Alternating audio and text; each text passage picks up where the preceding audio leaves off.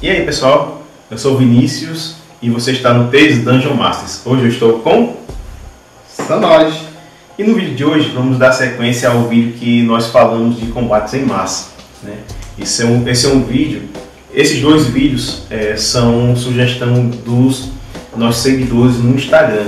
Então se você tiver interesse em sugerir algum vídeo, algum tema, fazer alguma pergunta para a gente, é, para a gente explicar nos vídeos, responder nos vídeos, manda uma mensagem para a gente no, no, Instagram ou no, no Facebook. Ou nos comentários aqui embaixo. Nos comentários aqui embaixo do vídeo, de qualquer vídeo nosso também. E também estamos no Twitter. Manda para a gente lá, né, nessas redes sociais, que a gente vai responder e vamos nos programar para fazer um vídeo a respeito. Beleza? Então, Sanoji vai explicar o método que ele usa para resolver combates em massa. Lembrando que aqui no card tem o método que eu utilizo. Olha lá, explica aí. Que o coração, ó. Bata mais forte. A responsabilidade é grande. Então, pessoal, para resolver combates em massa, eu costumo usar duas estratégias diferentes dependendo do tipo de história que eu estou contando, tá? Então, é, quando você está lidando com, com uma aventura de RPG, você tem que ter ideia de que vão haver momentos em que você está guiando a história, uhum. né? É uma história que ela tem uma linearidade. Você quer que os personagens sigam por aquele caminho. E você tem histórias que são completamente abertas. Você tem um começo e tem uma ideia vaga de como é que você gostaria que aquilo terminasse. E as ações dos personagens vão interferindo completamente no destino da aventura. Então, eu, eu já tive a oportunidade de mestrar nessas duas situações e tive a oportunidade de ter grandes batalhas nessas duas situações. Então, veja só, se você está seguindo uma história linear, se você está seguindo uma história linear, você tem que ter em mente qual a importância desses personagens dentro daquela batalha. Uhum. Se eles são ureia, pé rapado, bucha de canhão, eles vão estar no meio da balbúrdia. Eles vão sofrer. Eles vão estar no meio da confusão. Eles podem estar na vanguarda, eles podem estar na parede de escudos, um termo que antigamente não era nem tão visto. E se você pegar filmes como, por exemplo, Coração Valente, cara, Coração Valente traz uma impressão completamente distante de uma realidade do que é uma batalha entre exércitos com pouco treinamento que aconteciam naquela época. Autores como Bernard Cornwell, que escreveu é, Crônicas Saxônicas e que descreve uma batalha de parede de escudos muito bem, ele traz para você a ideia do terror, da angústia, da falta de coragem, dos guerreiros fanfarrões que ficam ali na beirada da parede de escudo, a três, quatro passos de distância da outra parede de escudo, xingando até a décima geração daquela família, Tem. provocando aqueles caras. Então, se o seu personagem, se o personagem dos jogadores, ele, eles são personagens iniciais, se eles são os ureinha, os caras que, que não são ainda generais e eles vão acabar indo lá para frente para para parede de escudos, para vanguarda da batalha, é, o que eu sugiro é que você preste atenção no seguinte: um, um, um personagem daquele mundo, ele é considerado um personagem nível 0, nível 1. Um, é. Né? Por mais que ele seja um guerreiro treinado, um soldado de uma vila, ele é um personagem nível 0, nível 1. Um. Se você colocar os seus jogadores para enfrentarem o exército inimigo, você vai chegar numa situação que mesmo numa parede de escudo, quando você montar o, o, o, o cenário de campanha com as miniaturas, tudo direitinho, você chega numa situação em que você vai ter um personagem rodeado de seis outros inimigos. Até isso aí no D&D terceira edição, acho que no AD&D também, eu não lembro direito, ele trata isso como o, no do, do mestre, eu não vou lembrar se na quarta edição ou se na quinta edição também traz, mas nível do mestre ele trata esses personagens como personagens combatentes. Não é nem guerreiro, nem nada, é um combatente. Pois é. Então, assim, vai se tornar cansativo para aqueles jogadores enfrentarem um a um. É uma coisa que realmente vai, vai tornar a sua sessão de jogo um troço esticado demais, comprido demais, cansativo demais, porque são muitos testes. E você sabe, RPG conta com a sorte nos dados. Então vai ter uma hora que vai ter um acerto crítico, vai ter uma hora que vai ter uma falha crítica, vai ter uma hora que um desses combatentes perrapado, nível zero, vai tirar um acerto crítico, você vai gerar um problema para a tua história, porque de repente um personagem pode morrer com uma faca besta que você não estava planejando aquilo para a tua história, porque nós estamos falando de uma história linear, que você quer contar uma história com a participação dos jogadores.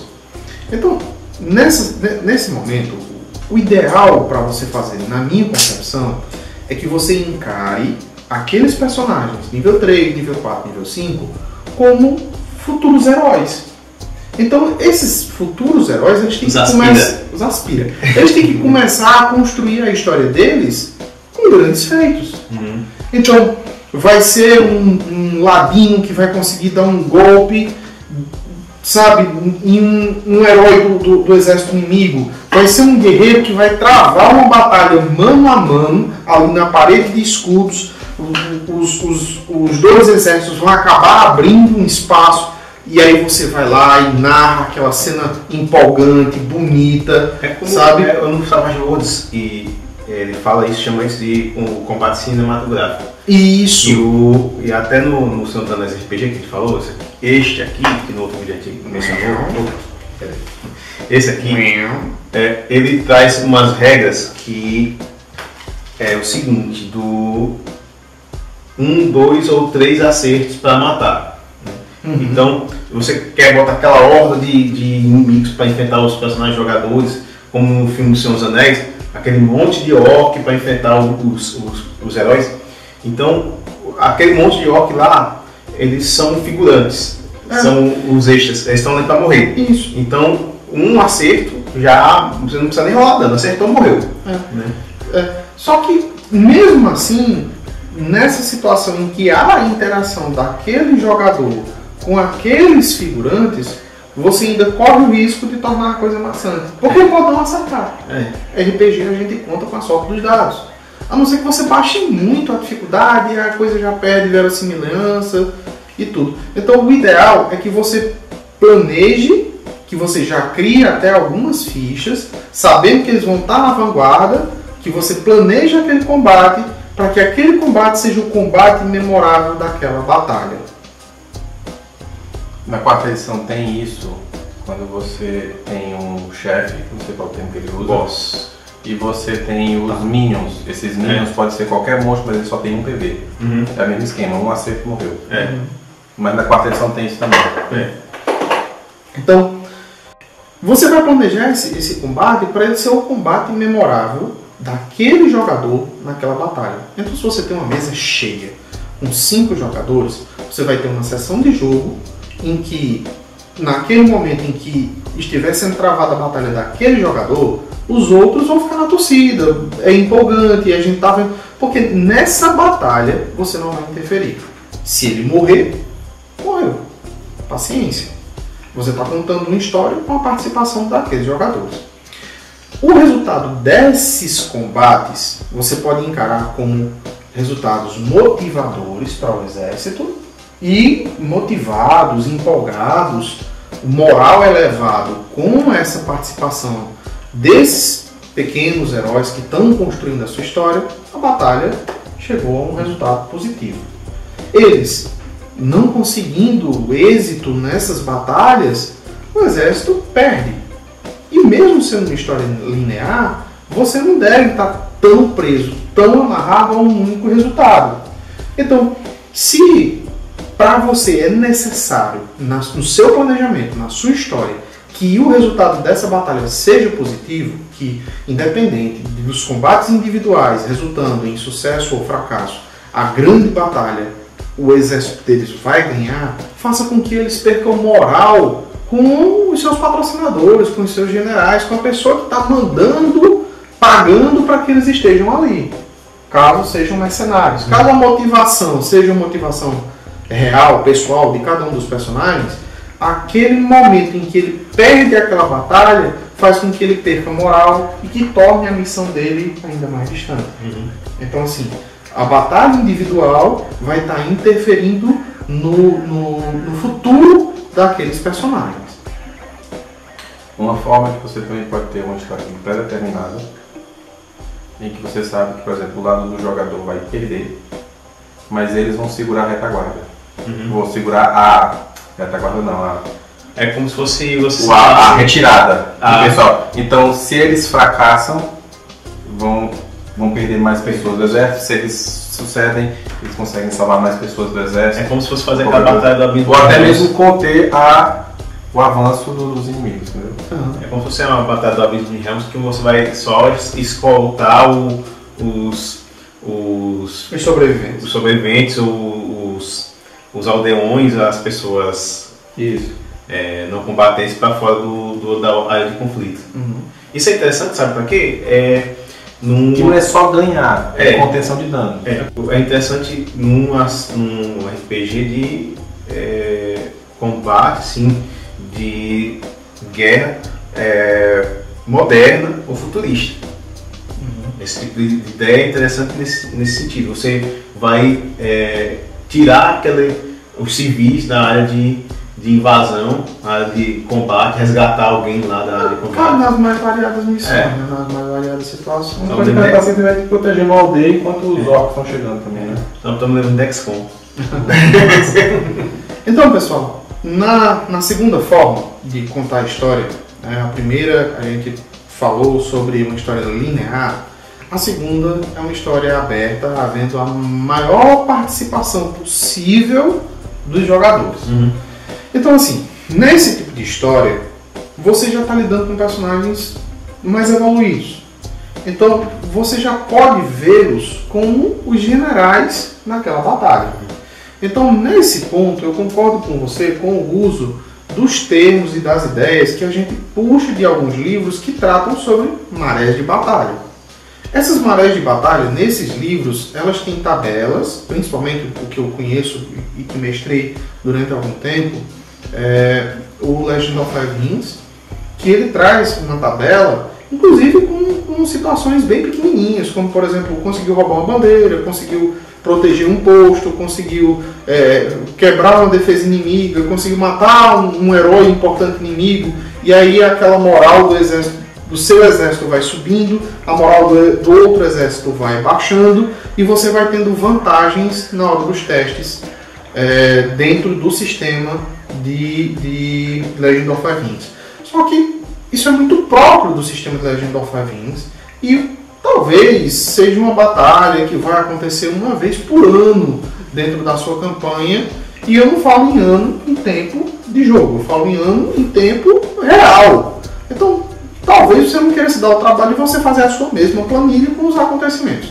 Os seus, os personagens dos seus jogadores, eles já vão estar num nível em que eles não vão ser mais os, os Ureia. Eles não vão ser mais aqueles, aqueles personagens que vão estar lá na frente de batalha. Eles vão estar nos lugares onde a coisa é decidida, onde as grandes decisões são tomadas, onde as, as, os grandes acontecimentos estão acontecendo. Estão Então, na mesa de guerra. eles estão na mesa de guerra, então eles vão ser os generais. Dependendo do teu cenário, eles vão ser generais dentro do campo de batalha.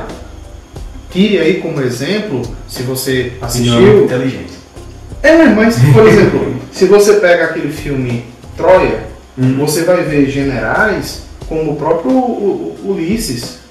É Ulisses, meu Deus? Não, como Heitor. Uhum. Como o próprio Heitor, filho de Troia, né? Ele está lá no campo de batalha. Ele está comandando de perto, né? Então assim, dependendo do teu cenário, você vai ter um general dentro de uma base de telecomunicações a, a milhares de quilômetros do, do, do, do cenário de luta e ele vai dizer é, Alfa 1 ataca ponto A, Alfa 2 ataca ponto B. Então assim, se os teus personagens estão nesse nível, como falei anteriormente, as marés de batalha são sempre a, a, a forma de tornar essa batalha mais fluida. Então, a cada vitória que os seus jogadores forem tendo com os planos deles, você vai conferindo vantagem no teste, bônus no teste. Você vai testar o que? Você vai testar a estratégia desses personagens. E caso um desses grandes heróis seja um, um bárbaro, por exemplo, um homem de armas, e o jogador decida, pela vontade dele, ir para o campo de batalha, Inspirá-los. né, inspirar o- o- o- os seus ureias, Resolver as coisas do seu próprio jeito, né? é, o cabo tá com sangue nos dentes e, É um Conan. Então, assim, esse esse personagem que vai pra lá, você vai, claro, construir uma cena que seja bonita de ser vista. Né? Lembrando que nesse formato a história não é mais linear. Então, a presença daquele jogador da- com, com seu personagem no, no centro da batalha, isso vai ser motivador para o exército. E aí você vai conferir bônus para os que estão do lado de fora fazendo os testes de maré de batalha. E aí você vai dar a esse jogador a oportunidade de ter um grande combate. Mestre a chegada dele até esse combate. Bote ele para enfrentar personagens intermediários. Um, dois, vai do tempo que você vai ter. Isso se parece com um, um pouco com a resolução que apresentei dentro da história linear. Mas se ele não faz um discurso bonito, e isso é interpretação, essa ideia quem tem que ter é o jogador. Se ele não faz um discurso bonito, se ele não, não toma atitudes honradas, se ele não motiva o seu exército, ele pode inclusive conferir bônus negativos para os, os jogadores Penalidade, que, que- penalidades para os, os jogadores que estão comandando as marés de batalha de fora, Uhum. né? E você vai estar dando a ele, ali nas mãos dele, a possibilidade de se ele matar o general do, do exército inimigo, de se encerrar a batalha, como acontecem também em, em batalhas históricas e tantos outros filmes que tem aí, em- em- no momento em que um herói mata o outro, o, o exército que teve seu herói morto se sente desmotivado e abandona o campo de batalha. Então, nesses dois modos, você tem tanto as decisões acontecendo ali, no momento, em loco, como você tem as decisões acontecendo por trás. Quando os personagens são de níveis iniciantes, as atitudes deles vão ser todas localizadas. O seu raio de influência é pequeno, eles estão lá na frente. Quando os personagens têm um nível mais elevado, as decisões deles têm resultados ao nível macro. Um grande herói, um grande guerreiro, derrotando o general inimigo, encerra uma batalha. Os generais dos jogadores tomando as ideias corretas, tomando as decisões corretas e tendo sucesso nos dados, vão facilitando a cada teste o resultado positivo da batalha ou vão se complicando e sendo derrotados, tendo más ideias. Né? Para isso acontecer, Eu fui um general desse aqui, ó. ah, esse aí, uh, esse aí é top. KF o diga. Então, pessoal, essas eram as minhas sugestões. Né? Elas são menos articuladas em, em questão de regras, de planilhas, porque eu, eu, eu pensei em sugerir isso de uma forma que você possa usar em qualquer sistema. Então, não estou te apresentando uma tabela com regrinhas, com situaçõezinhas pequenininhas, porque essas, essas sugestões o Vinícius já trouxe no vídeo dele. Mas as minhas sugestões podem ser usadas em qualquer sistema também. Pois é. Então, essas sugestões você já trouxe no seu vídeo Aham. e essas tabelas você já, Já- disponibilizou já lá. Então, se você quiser fazer as suas tabelas, pega as tabelas que o Vinícius ofereceu no, no vídeo em que ele mostra a forma como ele resolve isso e você pode criar a sua própria tabela. Exatamente. Lembrando que esses, esse vídeo, o anterior, foram sugestões de eh, seguidores do nossos Instagram. no Instagram. Então, se você tem alguma dúvida, quer sugerir algum vídeo, eh, quer fazer alguma pergunta, tem um- pergunta sobre a regra, sobre um jogo em específico, manda no nosso Instagram, nos comentários dos nossos vídeos, eh, no Twitter e no Facebook. As nossas redes sociais estão passando aqui do lado. Nos siga lá também. Manda nessas redes sociais que nós vamos é, conversar, avaliar e dentro da nossa, nossa possibilidade a gente vai fazer um vídeo para vocês é, dando essa resposta. Isso aí, a gente não sabe de tudo, É. mas se a gente não souber, a gente pesquisa, né? E você pode até nos ajudar a pesquisar também, com, com alguma ideia de fonte de onde a gente pode conseguir essa informação. Mas a gente vai estar sempre se esforçando para atendê-los. Né? O, o nosso contato no Instagram é, via direct, ele, ele é diário, então todos os dias eu estou lá respondendo é, conforme a gente consegue organizar dentro do nosso tempo dia a dia, né? Mas todos os dias você pode falar, a gente está lá para te ouvir, está lá para responder e as suas dúvidas elas podem se tornar vídeos como esse aqui. Então, se você gostou, curta, compartilhe, deixe aí o seu like, fortalece a gente. A gente só sabe que você está gostando do que a gente está produzindo se você deixar o like, se você comentar. Então, se você realmente curtiu, Você seguir o canal também, né? né? se você seguiu o canal, né? e se você realmente curtiu, compartilhe com os Coleguinhas. coleguinhas. Valeu. Valeu, pessoal. Até o próximo vídeo.